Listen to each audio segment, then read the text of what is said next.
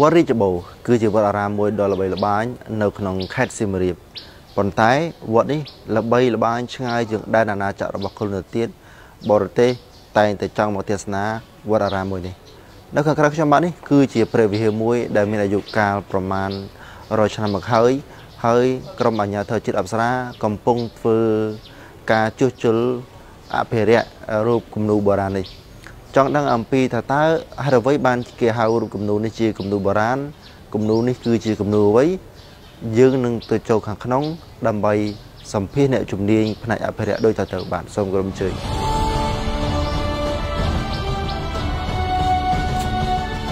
បាទដើម្បីចូលវត្តអារាមយើងត្រូវដោះស្បែកជើងស្រោមជើងចេញព្រោះអីវាជាទីសក្ការៈគោរពបូជា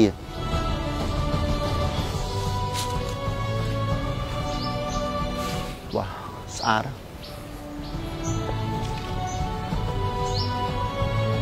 បាទយើងឃើញយើងចូលដល់ធំនេះយើងឃើញថាស្អាតមែនតើបាទ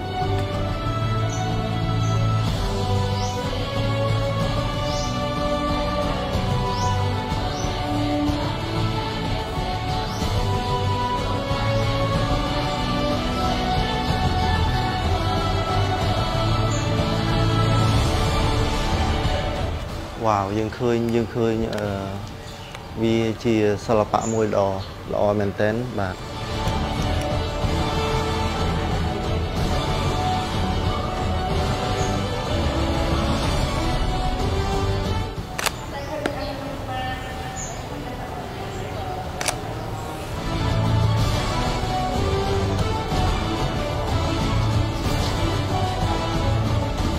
ជួយសួរតាជួយសួរបាទបាទ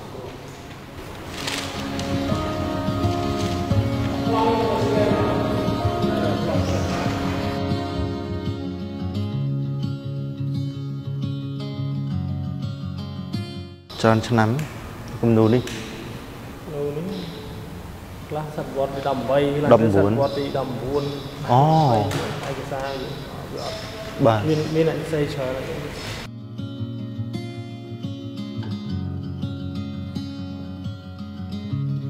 បាទឥឡូវនេះខ្ញុំបាទកំពុងតែនៅជាមួយនឹងលោកសវណ្ណរតហើយលោកសវណ្ណរតគឺជាអ្នកអភិរក្សវត្ថុបុរាណនៃអាជ្ញាធរជាតិអប្សរាប៉ុន្តែថានេះ យើងមានការងារមួយចំនួនដើម្បីឲ្យប្រិយមិត្តស្វែងយល់អំពីគំនូរវត្ថុបុរាណនៅវត្តរាជបូរនេះខ្ញុំសូមអញ្ជើញលោកសវណ្ណរតដើម្បីបកស្រាយជុំវិញគំនូរនៅក្នុងវត្តរាជបូរនេះថាតើវាមានលក្ខណៈពិសេសអ្វីខ្លះជំរាបសួរលោកដរតបាទបាទជំរាបសួរបងបាទលោកដរតអឺនៅជុំវិញព្រះវិហារមួយនេះគឺមានគំនូរជាច្រើនប៉ុន្តែខ្ញុំសូមចាប់ផ្ដើមសំណួរដំបូងដើម្បីឲ្យប្រិយមិត្តស្វែងយល់ថាតើអឺវត្ត ព្រះវិហារនេះហើយនឹងគំនូរនេះវាអាចនឹងចាប់ផ្ដើមសាងសង់ហើយនឹងគូនៅឆ្នាំណាដែរបាទបាទបើតាមយើងសួរទៅចៅអធិការហើយនឹងកម្មការស្រាវជ្រាវមួយចំនួនរបស់ក្រុមការងារពួកយើងព្រះវិហារនេះដំបូងឡើយមានព្រះពុទ្ធដេមាអង្គយ៉ាងទៅប៉ុន្តែមាន សំណង់ហ្នឹងជាសវយកម្មជាឈើជាឈើទេបាទក្នុងកាលឡើងក្នុងក្នុងសតវត្សទី17 17បាទបើចាប់ផ្ដើមនៅក្រោយសតវត្សទី18ក៏ចាប់ផ្ដើមមានធ្វើជាសំណង់ដែលយើងធ្វើពីជាងបៃអនេះឡើងបាទ ហើយគំនូនេះក៏ចាប់ផ្ដើមប្រហែលជាគូនៅក្នុងសតវត្សទី18នឹងដែរបាទអូអញ្ចឹងមានន័យថាជញ្ជាំងនេះគឺជាជញ្ជាំងបាយអទេមិនមែនជាជញ្ជាំងឥដ្ឋទេបាទបាទមិនជាជញ្ជាំងស៊ីម៉ង់ទេមិនមែនទេបាទយើងមានបាយអហើយនឹងឥដ្ឋនៅពីក្នុងអញ្ចឹងមានន័យថាការកសាងបាយអនេះអាចនៅសតវត្សទី10ដើម18ដើម18បន្តមកបានអឺគូគំនូរនេះឡើងបាទបាទអឺ តើគំនូរទាំងអស់នេះជាគំនូរនិយាយពីអ្វីដែរបាទនិយាយអំពីសាច់រឿងរបស់រៀមកេរឿងរៀមកេយើងយើងអាចមើលឃើញនៅតាមផ្ទាំងនីមួយនីមួយព្រោះកនូទាំងអស់ហ្នឹងយើងមានយើងឃើញមាន4ជ្រុងហើយយើងចែកជា3 3ថ្នាក់ផ្សេងគ្នាថ្នាក់បាទបាទបាទហើយសរុបផ្ទាំងកនូទាំងអស់ហ្នឹងគឺ157 157ផ្ទាំងផ្ទាំងបាទបើយើងឃើញយើងឃើញមានប្លុកប្លុកផ្ទាំងមួយមួយហ្នឹងដែលនិយាយអំពីសាច់រឿងរាមកេទាំងអស់នៅក្នុងប្លុកនីមួយមួយមានសរសេរបន្តិចបន្តិចអំពីសាច់រឿងនិយាយពីអីនិយាយពីអីបាទអូមានការសរសេរបញ្ជាក់មានមានសរសេរបញ្ជាក់បណ្ដៃសរសេរជាអក្សរខ្លះសេព្យាងតម្រួតទៅសរសេរព្យាងរាយទៅបាទបាទ បាទប៉ុន្តែនិយាយអំពីរឿងរៀមកេទាំងអស់មានលក្ខណៈពិសេសអ្វីខ្លះដែលដែលធ្វើយើងសម្គាល់ឆ្នាំនៃការគូនេះបានបាទអឺអានេះបើជាក់ស្ដែងយើងសិក្សាអំពីឯកសាររបស់អ្នកស្រាវជ្រាវពិសេសដូចខ្ញុំនិយាយមុនពីព្រះអង្គដែលគាត់ជាចាតិកានៅនេះអង្គពឹមសែនបាទបងប៉ុនបាទបាទយើងយើងស្រាវជ្រាវប្រវត្តិពីអ្នកដែល អ្នកដែលនៅទីនេះអ្នកដែលស្គាល់អ្នកដែលដឹងព្រោះឯកសារសរសេរតិចណាស់ពាក់ព័ន្ធនឹងប៉ុន្តែមានឯកសារមួយចំនួនសរសេរដោយអ្នកស្រាវជ្រាវបារាំងដែរពាក់ព័ន្ធនឹងរឿងហ្នឹងរឿងគំនូហ្នឹងគឺគាត់សរសេរថាគំនូនេះគឺគូសឡើងនៅក្នុងខ្ទង់ឆ្នាំ1920ទៅ1929បាទដោយវិចិត្រករខ្មែរហ្នឹងខ្មែរឈ្មោះតាពូលហើយនឹងក្មួយរបស់គាត់ឈ្មោះដេតបាទជាគំនូហើយគាត់ថាមានលក្ខណៈពិសេសមួយ ត្រង់ថាកនូហ្នឹងក្បាច់ຂ្នាតពីក្បាលខ្លួនដល់នឹងជើងហ្នឹងគឺសំសំសួនមានថាត្រូវតាមត្រឹមត្រូវតាមຂ្នាតបច្ចេកទេសគនូតែម្ដងគនូបាទបាទហើយកនូនេះមានលក្ខណៈពិសេសគាត់ថាបង្ហាញអំពីស្ថាបត្យកម្មគំនូនៅលើស្ថាបត្យកម្មក្នុងសតវត្សទី18ហ្នឹងជាជាគនូមួយដែលចាស់ក្នុងចំណោមគនូផ្សេងផ្សេងទៀតនៅខ្មែរយើងបាទ ខ្ញុំចាប់អារម្មណ៍យើងឃើញមានពណ៌ស្អាតស្រស់ស្អាតមែនតើហើយមានពណ៌ចម្រុះតែម្ដងតើនាសម័យហ្នឹងវាមានពណ៌មកទំនើបហើយឬក៏ការបច្ចេកទេសនៃការប្រើពណ៌នេះគាត់រកអ្វីដើម្បីខ្លាយជាពណ៌ហ្នឹងយកមកលាយខ្លាយជាពណ៌បាទបើតាមអ្នកជំនាញរបស់ខាងក្រុមការងារពួកយើងធ្លាប់មើលជាមួយនឹងគ្រូគាត់មកពីអ៊ីតាលីយើងមើលឃើញថាឲ្យគាត់បានធ្វើការវិភាគគំនូ ពណ៌ទាំងអស់ហ្នឹងគឺភាគច្រើនគឺពីធម្មជាតិវាមានពី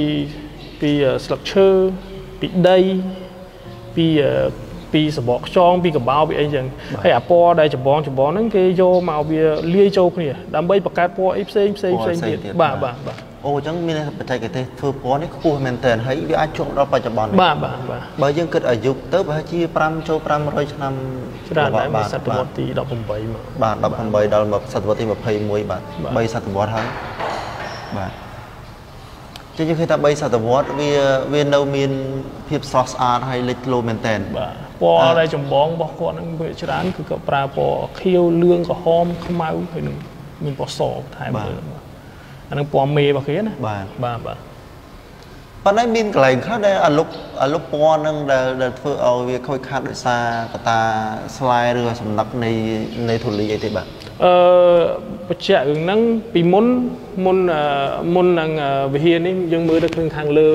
ពីដានហ្នឹងជាប់អញ្ចឹងពីមុនដំបូលមានបញ្ហាអូញាធិអប្សរាយើងបានជួសជុលខ្ញុំដោយតាមខ្ញុំចាំនៅក្នុងឆ្នាំ2019 20ហ្នឹងបាទ ព្រោះគម្រោងយើងភ្ជាប់ជាមួយគ្នានឹងការងារជួសជុលគំនូជញ្ជាំងហើយនឹងរចនាសម្ព័ន្ធទូទៅនៅក្នុងអាគារហ្នឹងបាទអញ្ចឹងយើងជួសជុលខាងក្រៅព្រោះពីមុន យើងមានស្នាមទឹកហូរទឹកចោះមកឃើញមានស្នាមឆោតឆោតនោះសិតតែទឹកវាជ្រាបមកវាជ្រាបអីចឹងទៅគឺសិតមានបញ្ហាហើយពីមុនទីតាំងនេះក៏ជាកន្លែងដែលគ្រប់បូជាគ្រប់បូជាបាទអញ្ចឹងយើងមានផ្សែងធូបយើងមានអីចឹងទៅគឺអាកំណត់ផ្សែងទាំងអស់ហ្នឹងគឺក្របនៅលើគំនូហ្នឹងឯងដែលយើងជាក់ស្ដែងយើងត្រូវចាប់ផ្ដើមធ្វើហ្នឹងគឺធ្វើការងារលើអាហ្នឹងឯងបាទបាទឥឡូវបច្ចុប្បន្ននេះក្រុមការងាររបស់អាជ្ញាធរជាតិអប្សរាដែលមានក្រុមការងាររបស់លោកមួយក្រុមកំពុងតែ ធ្វើអ្វីដែរបាទសូមអញលំអិតបន្តិចបានទេជាការជួសជុលឡើងវិញឬក៏ជាការធ្វើឲ្យមានគុណភាពឡើងវិញបើនិយាយពីពាក្យថាយើងអភិរក្សគឺយើងនិយាយអំពីការពជាពេលនៃការខូចខាតឬក៏ការធ្វើឲ្យវារឹងមាំឡើងវិញបាទតែមិនមែនថាមានន័យថាយើងធ្វើហើយគឺនៅអញ្ចឹងរហូតទេប៉ុន្តែយើងពជានៃការខូចខាតរបស់វត្ថុទាំងអស់ហ្នឹងទាំងគំនូក៏ដូចជារូបចម្លាក់ផ្សេងផ្សេងដូចគ្នាអញ្ចឹងការងាររបស់ពួកយើងជាក់ស្ដែងនៅទីនេះយើង ការងារអភិរក្សជញ្ជាំងនិងគំនូនេះគឺយើងបានជំនួយពីស្ថានទូតឥណ្ឌាបាទបាទស្ថានឥណ្ឌាស្ថានទូតឥណ្ឌាគាត់ជួយទៅលើថវិកាសម្រាប់ការងារជួសជុលទាំងអស់ហ្នឹងបាទអញ្ចឹងជំការងារពីរសំខាន់សម្រាប់ការងាររបស់ពួកយើងនឹងទីមួយយើងបដោតទៅលើជញ្ជាំងជញ្ជាំងបាទបាទដំបូងគឺយើងបដោតលើជញ្ជាំងពុកផុយព្រោះយើងឃើញជញ្ជាំងបាយអយើងឃើញស្នាមយើងឃើញហ្នឹងគឺផ្ទៃខាងក្នុងហ្នឹងពាក្យបច្ចេកទេសគេហៅ exploration ហ្នឹងគឺ វាពុកផុយពីក្នុងមកបើយើងយើងមើលតែពីក្រៅចេះយើងអត់ដឹងទេយើងអត់ដឹងទេតើយើងវិភាគវាដិតដល់យើងដើរគោះយើងមានម៉ាស៊ីន scan ម៉ាស៊ីនអីទៅមិនយើងថាដឹងថាវាពុកផុយអញ្ចឹងជំហានដំបូងរបស់ពួកយើងគឺយើងពង្រឹងជញ្ជាំងបាទបាទហើយការងាររបស់ពួកយើងជាក្រុមជា រងថ្ងៃហ្នឹងជាក្រុមនៅក្រោមអាជ្ញាធរជាអាឈ្មោះថាអ៊ីតាយ៉ាបាទប៉ុន្តែអឺពួកយើងមានជំនួយអឺអឺមានសហការពីខាងក្រសួងវប្បធម៌ក៏ដូចជាសាស្ត្រាចារ្យម្នាក់ដែលគាត់នឹងជាជនជាតិខ្មែរយើងដែលគាត់នឹងអញ្ជើញមកហ្នឹងប្រហែលខ្ទង់ជាខែ2នេះបាទអឺពីពីប្រទេសប៉ូឡូញដែលជួយដែលជួយការងារអឺពួកយើងនឹងជាជួយជាសាស្ត្រាចារ្យបរទេសតែម្ដងខ្មែរខ្មែរខ្មែរគាត់ប៉ុន្តែសិក្សានៅជាប៉ូឡូញ គាត់គាត់រងឯងគាត់ជាសាស្ត្រាចារ្យនៅប៉ូឡូញស្រាប់អូគាត់បរៀននៅពាក់ព័ន្ធនឹងប៉ូគំឡូញនូរបាទបាទគាត់មានប្រវត្តិអឺអឺជួសជុលនៅប្រាសាទអឺអឺវត្តប៉កែមកគាត់នៅនៅអំពេញនោះដែរបានៅទនៅបាទនៅវាំងនោះដែរបាទហើយអឺជំហានការងាររបស់ពួកយើងដំបូងអឺហ្នឹងគឺរៀបចំការដ្ឋានយើងចាប់ផ្ដើមអឺដោយបងឃើញមានអមានអីហ្នឹងគឺយើងចាប់ផ្ដើមធ្វើអឺធ្វើ stat អញ្ចឹងមានន័យថាជំហាននៃធ្វើ stat យើងមាន geometric បាទ វាស់ຂະຫນາດវាយຂະຫນາດឲ្យត្រឹមត្រូវទៅហើយអឺមួយទៀតគឺ state of conservation ពាក់ព័ន្ធនឹងសិក្សាអំពីការងារខូចខាតមិនមែនតែជញ្ជាំងប៉ុន្តែនៅលើកនូផងដែរបាទ អូបាទ បាទហើយអឺមួយទៀតយើងអរគុណដែរខាងថ្មីថ្មីកន្លងមកគាត់បានមកជួយថត បាទមកជួយថត គាត់មកជួយថតអឺជាឯកសារទុកថតរូបហ្នឹងបា បាទ ទយើងបានទទួលទិន្នន័យមួយចំនួនពីពួកគាត់មកដែរ បាទហើយខ្ញុំឆ្ងល់មួយអាចអាចអឺที่កន្លែងខ្លះដែលវាវាមិនសូវសូវមិនសូវច្បាស់ ដោយសារលោកបានរៀបរាប់ដោយសារធូលីធូបហើយនឹងធូលីដីហើយនឹងការមានស្លែអស់ពលដោយសារស្លែមានអឺទឹកហូរចូលមកតើអាអាទាំងអស់ហ្នឹងក្រុមការងារអភិរក្សហ្នឹងជួសជុលឬក៏មិនមែនជួសជុលទេរក្សាគុណភាព គំនូរដើមធ្វើមិនឲ្យវាល្អឡើងវិញបាទបាទបន្ទាប់ពីបញ្ចប់ជំហានចងក្រងឯកសាររបស់ពួកយើងព្រោះខ្ញុំនិយាយមុនហ្នឹងគឺការងារចងក្រងឯកសាររបស់ពួកយើងយើងរៀបចំឯកសារស្រាវជ្រាវប្រវត្តិចងក្រងគំនូរទីតាំងខូចខាតយើងកំណត់ថតរូបជាក់ជាក់លាក់ដើម្បីប្រៀបធៀបមុនអំឡុងពេលនិងក្រោយនៃការជួសជុលក្រោយជួសជុលអញ្ចឹងបន្ទាប់ពីយើងចងក្រងនោះមកគឺការងារបន្ទាប់របស់ពួកយើងគឺចាប់ផ្ដើមសម្អាតស្ងួតបាទមានន័យថាយើងសម្អាតទូទៅយើងសម្អាតអឺក្នុងនោះយើងយើងពិនិត្យឲ្យ ចិត្តចិត្តមែនតើទៅយើងមានអាស្នាមកណ្ដៀអឺអាទីតាំងមួយចំនួនដូចជាមានអឺស៊ីម៉ង់ដែរព្រោះព្រោះដោយសារតែខ្ញុំបញ្ជាក់បន្តិចព្រោះដោយសារថាវិហារនេះយើងឃើញមានកន្លែងមួយចំនួនអឺកែប្រែអូដូចយើងឃើញនៅលើស្នាមទ្វារស្នាមបង្អួចអញ្ចឹងបាទនេះគេជាស៊ីម៉ង់បាទស៊ីម៉ង់ជាស៊ីម៉ង់ហើយមកកណាត់ទៅលើអឺបន្ទាប់ពីគំនូរនោះក៏ជាស៊ីម៉ស៊ីង់ម៉ង់ដោយសារវាប្រេះអញ្ចឹងទៅបាទបាទជាជាជាស៊ីម៉ង់ដល់អញ្ចឹងអឺ អ្វីដែលយើងធ្វើការងារបន្ទាប់ពីចុងក្រោយគឺយើងចាប់ផ្ដើមសម្អាតបាទយើងសម្អាតស្ងួតសិនបន្ទាប់មកបានយើងចាប់ផ្ដើមធ្វើតេស្តសម្អាតសើមអានេះខ្ញុំនិយាយនេះគឺការងារដែលក្រោយពីយើងពង្រឹងអញ្ចឹងហើយបាទព្រោះយើងធ្វើពង្រឹងអញ្ចឹងហើយបានយើងចាប់ផ្ដើមធ្វើលើគំនូរតិចតិចៗហ្នឹងអញ្ចឹងដំបូងគឺយើងសម្អាតស្ងួតតទៅទៀតយើងសម្អាតស្ងួតសិនបាទតទៅទៀតបានយើងធ្វើយើងមានផលិតផលដែលយើងចាំគ្រូមកហ្នឹងបាទដើម្បីធ្វើតេស្តធ្វើតេស្តមានន័យថាកនូយើងមិនមែនសម្អាតដូចយើងសម្អាតយើង ចានយើងយកសម្អាតទៅលុបបាទយើងយកបាទដោយសម្អាតចានសម្អាតឈើសម្អាតអីទេបាទគឺយើងត្រូវធ្វើតេស្តព្រោះដោយសារបើយើងមិនធ្វើតេស្តយើងរកផលិតផលមួយដែលសម្អាតមិនត្រឹមត្រូវវាអាចប៉ះពាល់នឹងកនូយើងជាអ្នកអភិរក្សយើងអាចពេលដែលយើងធ្វើយើងអាចកុហកគេបាទបាទប៉ុន្តែយើងអាចខកខ្លួនឯងបានទេអញ្ចឹងរបស់ហ្នឹងក៏ជារបស់យើងដែរអញ្ចឹងយើងត្រូវពេលដែលយើងធ្វើយើងត្រូវប្រយ័ត្នប្រយែងអញ្ចឹងយើងធ្វើតេស្តហ្នឹងមានន័យថាយើងធ្វើតេស្តអាណាដែលអឺផលិតផលណាដែលយើងសម្អាតទៅវាអាច ជួយគំនូហ្នឹងដកតែស្លែដកតែអាស្នាមប្រឡាក់ហ្នឹងចេញអត់ប៉ះពាល់ដល់គំនូបាទអាហ្នឹងអឺការងារដែលយើងត្រូវធ្វើអឺបន្ទាប់ហើយប៉ុន្តែយើងពង្រឹងហើយតាមស្នាមប្រេះហ្នឹងយើងនឹងប្រើ bio បាទពួកយើងមានយើងស្ដាយដែរនេះបាទវាបាទវាបាត់នៅវាវាបែកធ្លាក់អញ្ចឹងទៅវាបាត់ឡើយបាទអញ្ចឹងយើងមានរៀបចំព្រោះមុនចាប់ផ្ដើមការងារយើងបានរៀបចំអឺសម្អាតអឺកំបោរយើងអឺអឺ លាយកំបោរយើងបានសម្អាតខ្សាច់យើងបានអីដើម្បីត្រៀមសម្រាប់ការងារអស់នឹងទាំងអស់ហ្នឹងឯងបាទបាទអឺចាប់បើករណីថាយើងអឺវាវាវាបែកបាក់អញ្ចឹងវាខូចខាតអញ្ចឹងអឺការងារអភិរក្សហ្នឹងអាចនឹងរៀបចំជួសជុលបិទវាកន្លែងហ្នឹងឲ្យគូសឡើងវិញអត់ទេបាទអឺយើងយើងចាំមើលទីតាំងជាក់ស្ដែងបាទព្រោះយើងមិនអាចទៅគូទាំងអស់ទេបាទអញ្ចឹងមានន័យថាឧទាហរណ៍ឥឡូវ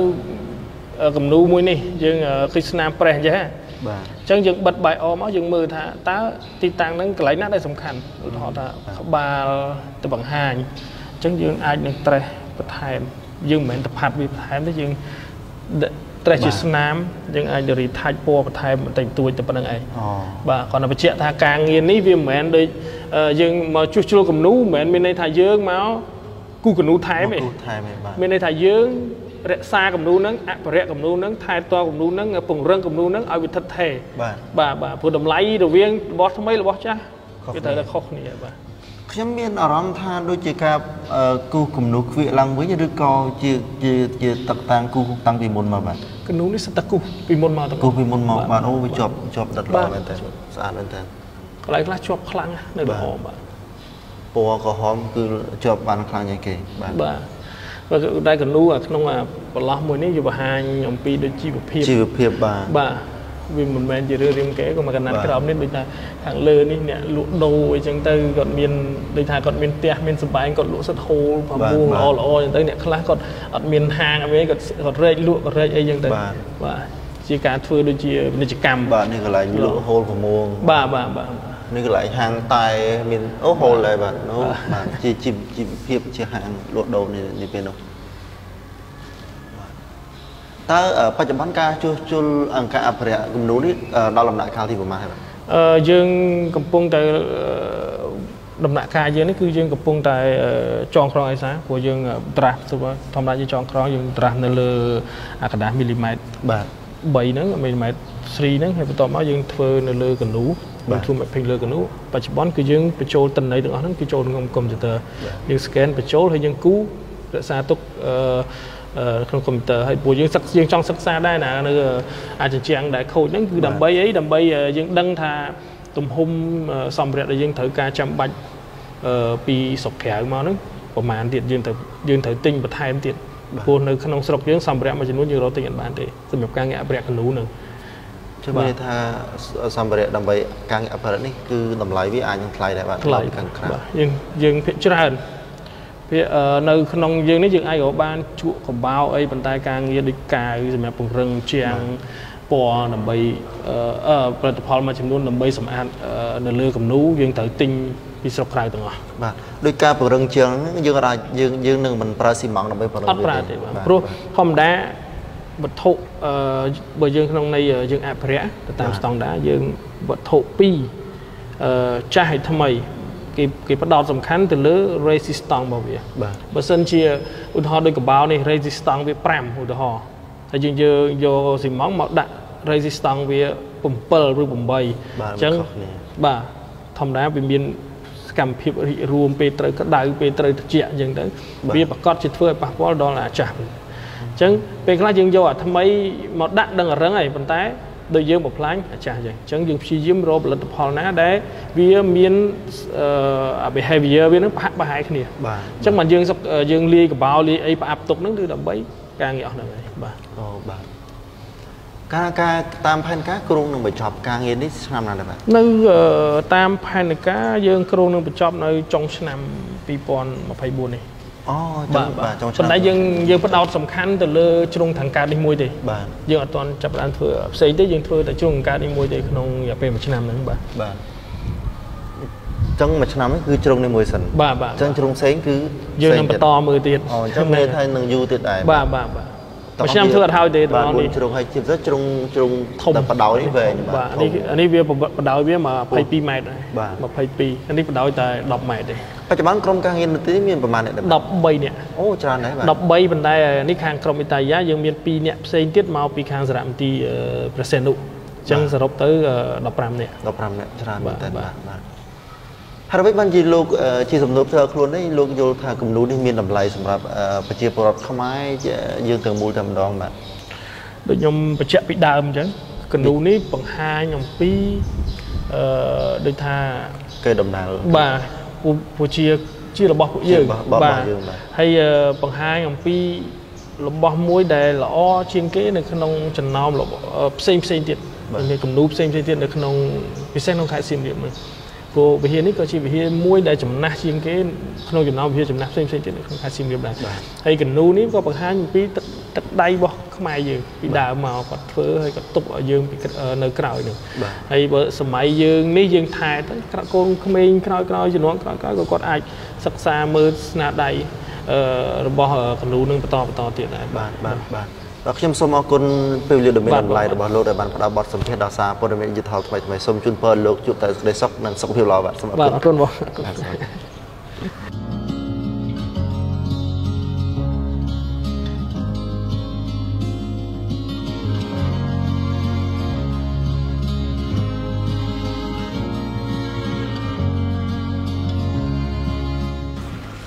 សូមស្អាតហើយបាទមានរូប